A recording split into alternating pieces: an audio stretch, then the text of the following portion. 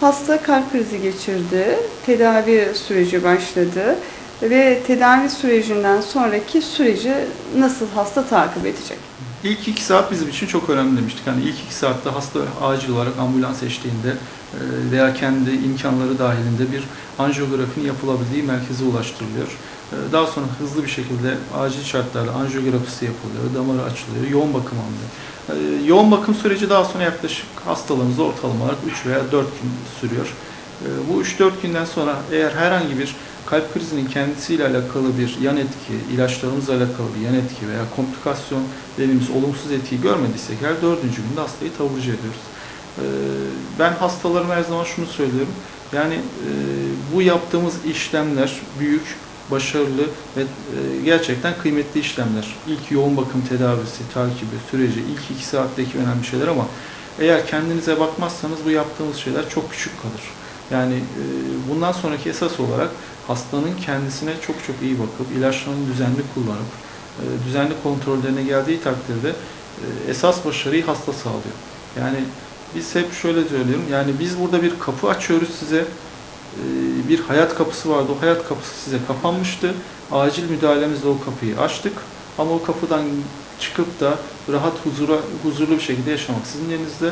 Eğer ilaçlarınızı kullanmazsanız, sigarayı bırakmazsanız, şekerinizi kontrol altına almazsanız veya işte düzenli bir spor yapmazsanız, uykunuza, yediğiniz içtiğiniz şeylere dikkat etmezseniz bu geldiğiniz şekildeki kalp krizinden çok daha kötü bir şekilde kısa bir süre içerisinde belki bir ay, belki iki ay, belki bir yıl içerisinde tekrar gelme olasılığınız yüksek diyor.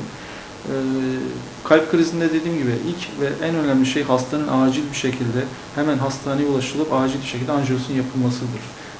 Bu çok önemli ama esas olarak bundan sonraki süreç hastanın kendisine çok iyi bakması, düzenli olarak kontrolüne gelmesi de daha çok çok önemli. Ee, yani biraz hastayı motive etmek, biraz tabii ki yani bu anlattığımız şeyler uyum sağlaması zor şeyler. Ee, kalp krizi geçiren hastalar genellikle stresli hastalardır. Yani bu hastalık açıkçası stres faktörlerinin de ön planda olduğu bir hastalıktır. Yani streslerini azaltması mümkün olmayabilir. Şekerini bir an önce kontrol altına alamayabilir. Veya bir paket, günde bir, bir buçuk paket sigara içen hastayı 3 gün içerisindeki yoğun bakım takibinden çıktıktan sonra hemen e, sigarayı pat diye bir anda bir anda sıfırlayamayabilir.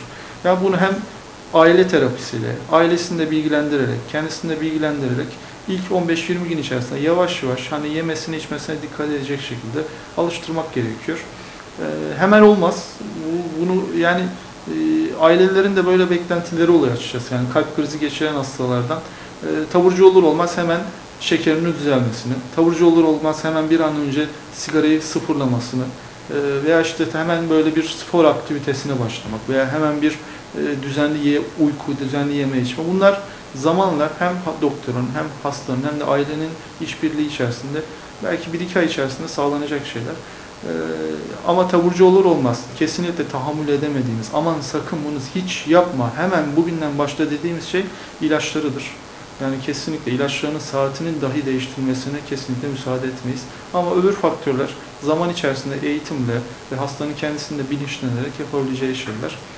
Ee, kalp krizindeki geçiren bir hastanın genelde ilk kontrollerini ilk bir ay içerisinde yapıyoruz. Zamanla kontrol aralıklarını 3 ay, 6 ay ve yıllık olarak e, genişletiyoruz. Ee, iyi bir eğitim, iyi bir bilinç ve hasta ve hekimin de iyi bir işbirliğiyle tedavimizi başarıyla atlatıyoruz.